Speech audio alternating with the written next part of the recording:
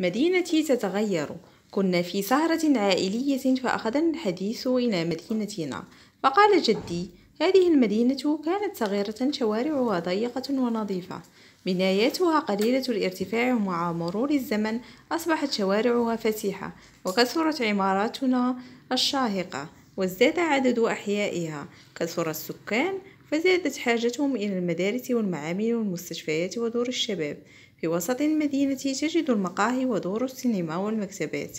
تابعت كلام جدي باهتمام ثم قاطعته. لكن مدينتنا في حاجة إلى حدائق الأطفال. هز رأسه وقال صدقت بني حدائق الألعاب قليلة.